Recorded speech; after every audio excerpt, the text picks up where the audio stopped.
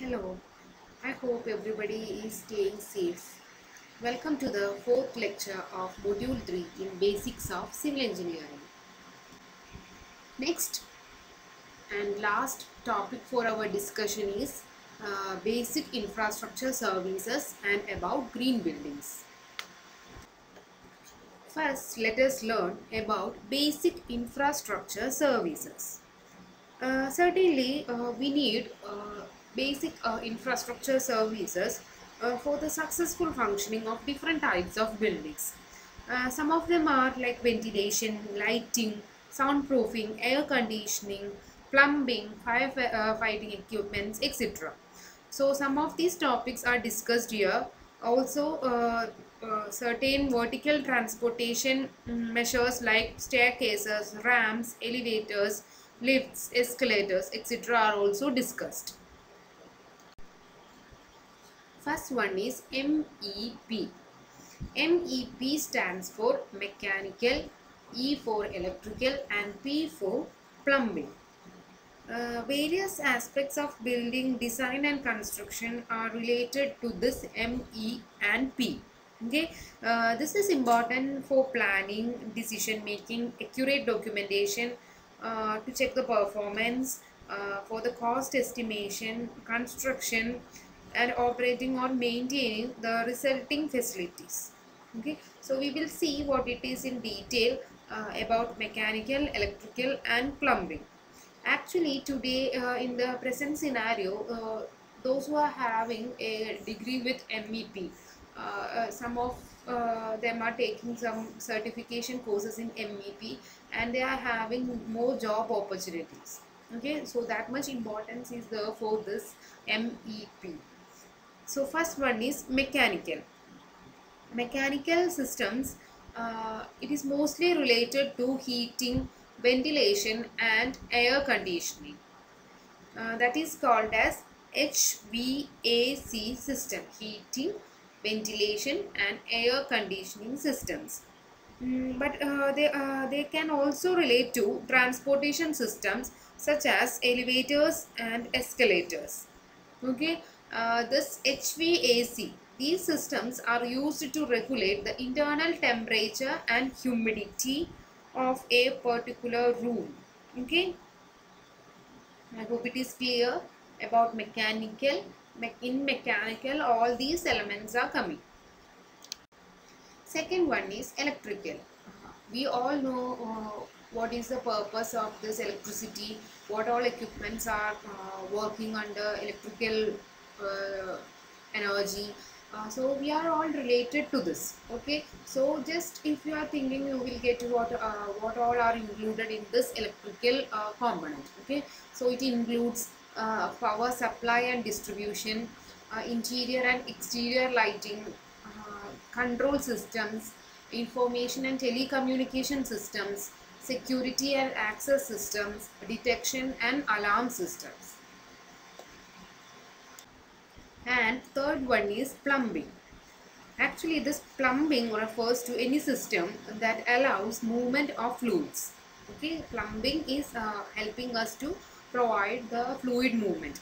So it typically involves uh, pipes, valves, plumbing fixtures, sanitary fixtures, uh, tanks and other apparatus. Okay, it is used for uh, potable, cold and hot water supply, water recovery and treatment system, rainwater, surface and subsurface water drainage, heating and cooling, waste removal, fuel gas pumping. For all these uh, features, we are using plumbing system. Okay. Next is HVAC. We already saw what it is. It is heating, ventilation and air conditioning system. So this is the system or combination of system used to provide a comfortable temperature in buildings and it also maintain high levels of air quality. The objective of an HVAC system is to ensure that the indoor environment is both safe and comfortable for humans. Uh, safety here mainly concerns with the uh, indoor air quality or IAQ that is indoor air quality which demands indoor air should have enough oxygen and should be free of noxious gases. So let's discuss uh, what uh, the detailing of HVAC. First one is heating. We all know heating is the process of generating heat for the building. Okay, this can uh, so this is done by uh, central heating with a boiler, furnace, or heat pump to heat water, steam, or air in a central location such as a furnace room in a room in a home. Uh, the heat can be transferred by different methods like uh, different processes like conduction, convection or radiation. These are the various uh, processes happening in heat transfer. Uh, so the pipes are used to transfer the heat to the rooms with heated water or steam. Uh, the most modern hot water boiler heating systems have a circulator, uh, okay, which is a pump. Uh, it will move the hot water through the distribution system. Uh, so this heat can be transferred to the surrounding air using these radiators or hot water coils or other heat exchangers. The radiators are mounted on walls or installed within the floor to produce floor heat. The use of water as the heat transfer medium is known as hydronics. Second one is ventilation. It is the process of exchanging or replacing air in any space to provide high indoor air quality. We all say like it should be a ventilated room. Okay, so what is the meaning of that? Actual meaning, it is the process of uh, we are replacing air in any space to provide high indoor air quality. So this involves temperature control, oxygen replenishment and removal of moisture, odor, smoke, dust, airborne bacteria, carbon dioxide and other gases. Uh, this ventilation helps us to remove unpleasant smells and excessive moisture uh, which help, uh, helps in introducing to which is obtained by introducing to outside air, keeps interior building air circulated and prevents stagnation of the interior air. Okay, so this methods for uh, ventilating a building may be classified into two that is mechanical or forced ventilation and natural ventilation. So let us see what are the those two methods in ventilation. First one is mechanical ventilation. So this is provided by air handler units and it is used to control the indoor air quality. Uh, the excess humidity, odors and contaminants can often be controlled via dilution or replacement with outside air. So this is done using mechanical ventilation. Uh, kitchens and bathrooms typically have mechanical exhaust to control odors and sometimes humidity. Uh, the ceiling fans or table fans circulate air within a room. So all these are provided by a mechanical means and we are providing the ventilation. So that is mechanical ventilation. Next is natural ventilation. This is the ventilation of a building with outside air uh, without using fans or other mechanical systems. Okay, so this can be done via uh, windows, op uh, building openings, etc. Uh, in warm or humid climate, thermal comfort cannot be maintained using natural ventilation only. So that's why we are using the mechanical mean, means in hot climate. Okay. And the third one is air conditioning. We all know what is air conditioning. We are using this purpose, uh, this system, AC. Okay. Uh, so we will see what it is, the definition. It is the process of treating air so as to control simultaneously its temperature, humidity, purity, distribution, air movement and pressure to meet the requirements of the conditioned space such as comfort and health of human beings, needs of industrial processes and other needs in the buildings. Okay, so it is also require, uh, required to preserve quality of products. We are using uh, refrigerator in that we are conditioning okay so it helps to preserve the quality of the products. Uh, also in commercial building it helps to improve the working atmosphere. Okay uh, also in commercial buildings like uh, theaters offices shops banks stores restaurants etc uh, we are using air conditioning system to improve the uh, working atmosphere and to maintain the comfort within these concerns one more uh, point in HVAC is that we are uh, in the modern buildings we are using a system called HVAC integrated system. Okay? Uh, this means here the basic operations of heating or cooling ventilation and air conditioning are brought together in single or connected systems in the buildings. So such uh, uh, approach is called HVAC integrated systems uh, so uh, let's see the classification of HVAC system the major classification of HVAC systems based on location of primary equipment is central system and decentralized or local system. What do you mean by central system? We all know just uh, imagine like centralized AC we used to say right. So the same thing in central system a centralized equipment is installed for conditioning the entire building as one unit. Okay? Uh, but in decentralized or local system uh, here the equipment uh, separately conditions a specific zone as a part of the building. I hope it is very easy. You can just relate to your daily life uh, so that you can uh, study this definition very easily. Next topic is elevators or lift so we all know what it what is a lift and what is the purpose of lift. Okay say it is the same as elevator. Okay so first let us see why what is the definition. Uh, so elevator or lift is an appliance designed to transport persons or materials between two or more levels in a vertical or substantially vertical direction by means of a guided car or a platform. Okay? So where this should be located. It should be lo it sh its location should be such that it should be easily accessible from main building entrance. Okay? Otherwise of course we have to search for the lift. Okay? So it should be easily accessible from the main building entrance. Next is types. We, there are two types um, electric traction elevators and hydraulic elevators uh, electric traction elevators means uh, it is working uh, with the help of an electric motor.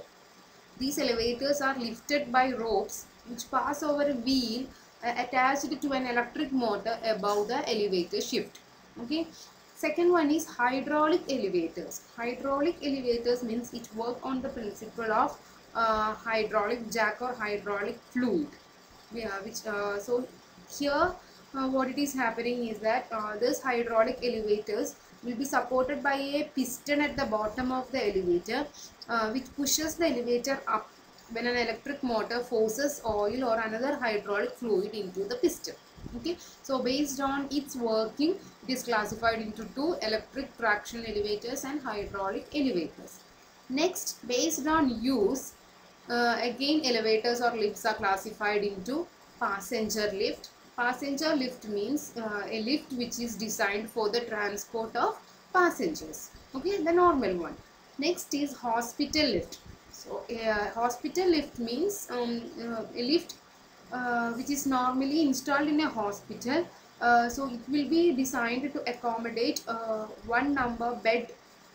Okay, uh, to carry the patient we have to carry that bed or stretcher in the lift. So, it will be uh, designed in such a way that sufficient space will be provided uh, to carry a stretcher uh, to a, a, patient with a stretcher and also a space for minimum of three attendants to stand.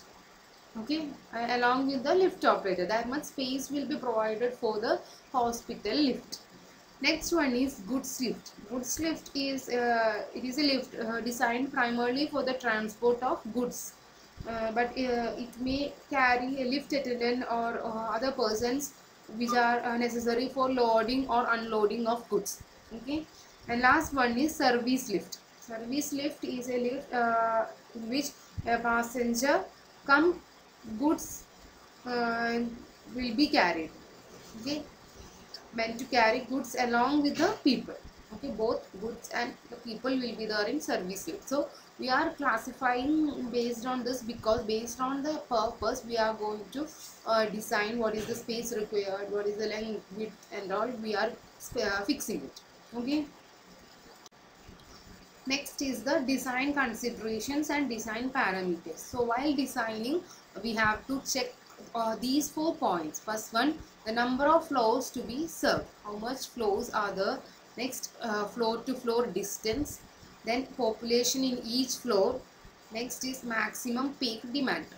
Okay, so uh, by determining uh, what is the population. So uh, what is the population we can uh, fix how much people will be there in at a time so that how much load uh, a lift should carry like that we can fix the contents okay in design parameters we have to check a population of course we have to consider how much population is the then quantity of service that is the passenger handling capacity. How at a time how much person lift should carry or can carry it should be fixed. And last quality of service that is based on the time interval passenger have to wait. 20 to 25 seconds. That means if i'm waiting for the lift uh, after how much time uh, i can receive that service okay so that is the quality of service. If too much time if you are waiting for a lift that uh, the quality assured by that uh, service is less. Okay so quality of service means that time that is 20 to 25 seconds are the design parameter. Okay. Next topic is ramps i'm sure that uh, you all are familiar with the ramps and maybe you have used also uh, so it is an inclined plane mainly joining two floors and is mainly used for carrying machinery equipment trolley cart etc it should be provided for physically challenged persons for carrying cars and other machinery, much greater dimensions are required. If we are using for person, uh, we need only uh, less width. Uh, but if we are using for carrying car and other machinery, greater dimensions are preferred. Uh, normally ramps are designed as inclined RCC slabs supported on columns. I hope you know what is RCC. RCC is reinforced cement concrete slabs. So it is supported between two columns For floors are surfaced with non-slippery materials of course we are uh, whenever we are using ram uh, the stability will be less for the person okay so we will be using non-slip uh, slippery material for floor the for, sorry for the flooring first one is MEP MEP stands for mechanical E for electrical and P for plumbing.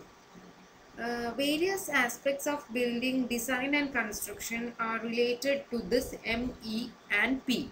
Okay, uh, this is important for planning, decision making, accurate documentation uh, to check the performance, uh, for the cost estimation, construction, and operating or maintaining the resulting facilities. Okay, so we will see what it is in detail uh, about mechanical, electrical, and plumbing.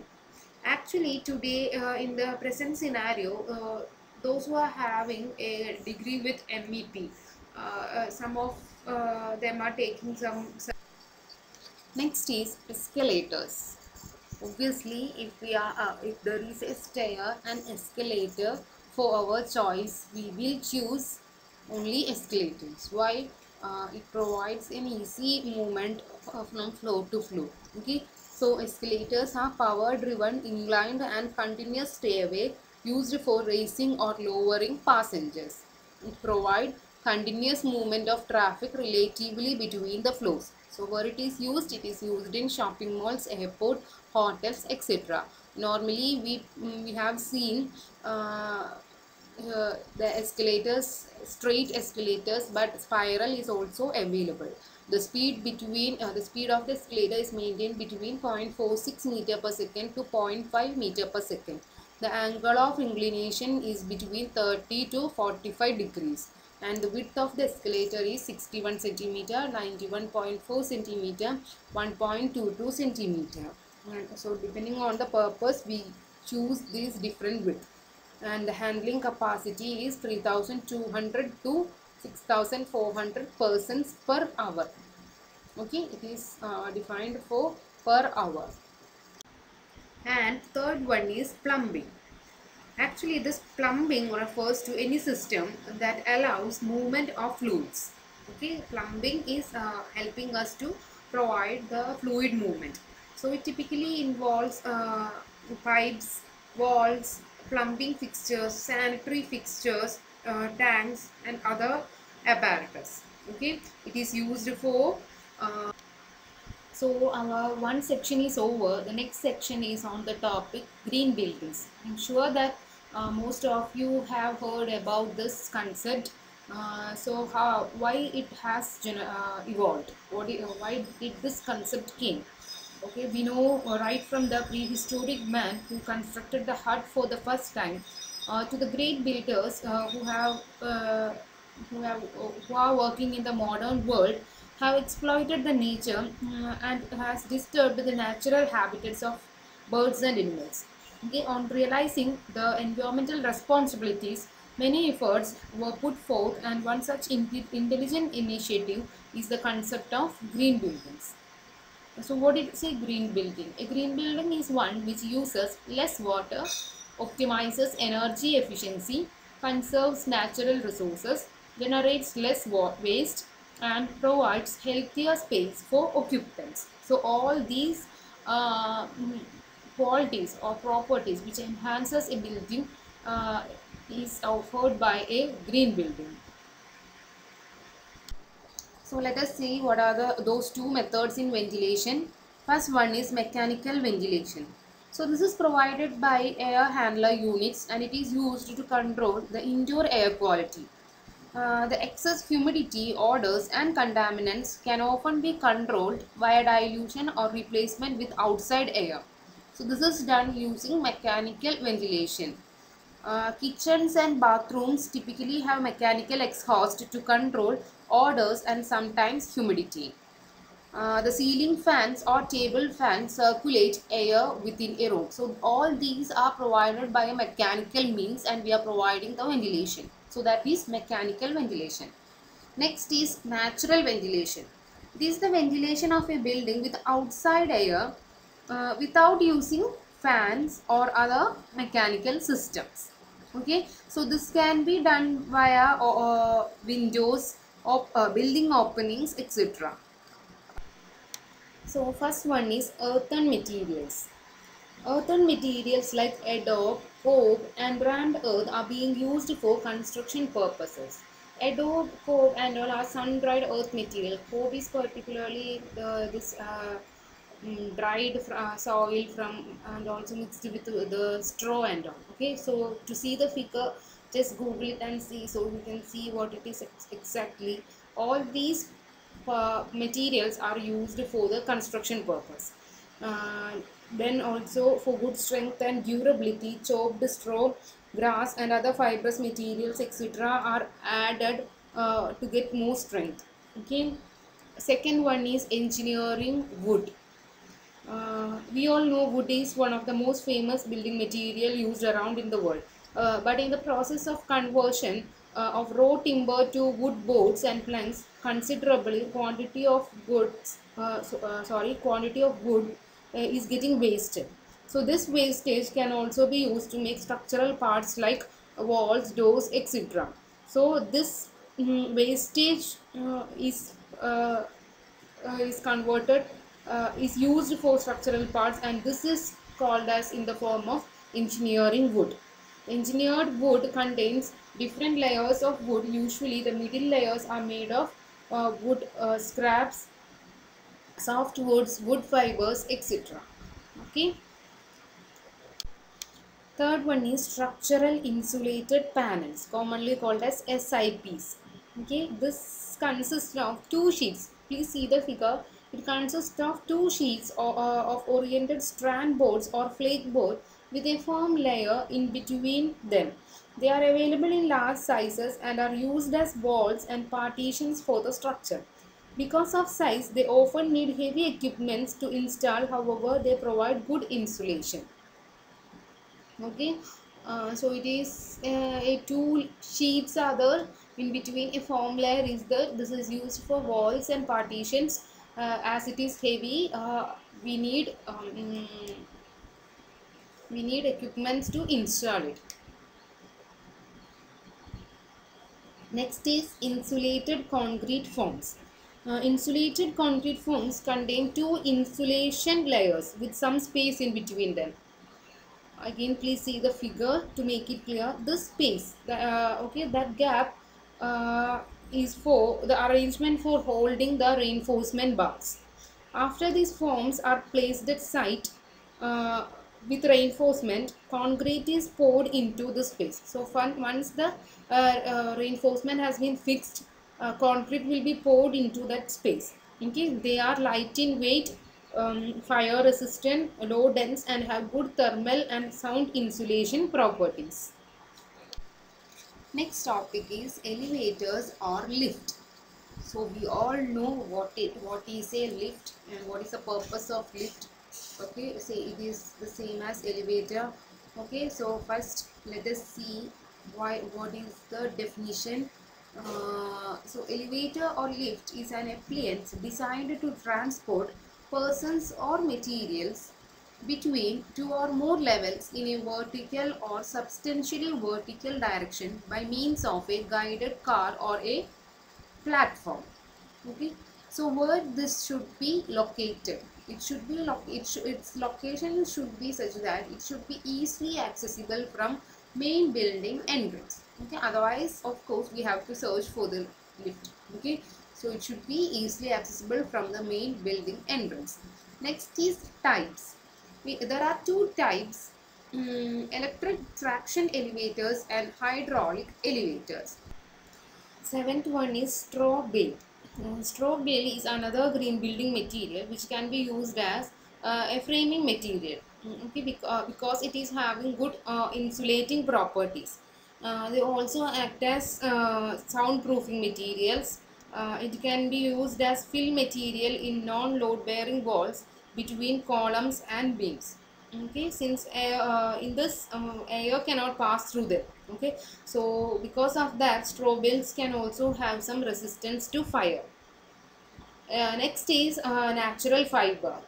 Uh, natural fiber uh, like cotton wool uh, can also be used as insulation materials. The in recycled cotton or woolen fiber will be converted into batt.